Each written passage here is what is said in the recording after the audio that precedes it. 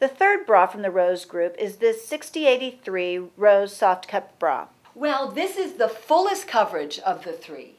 And I also want you to notice, Tamima, that even though it doesn't have underwires, it has that four-part cup with that side sling again to bring that breast tissue forward. Now talk about that inverted V. Well, this is fabulous for ladies who have a little bit more of a tummy. So there's room for it. So very, very comfortable. And it also gives it a much lighter look.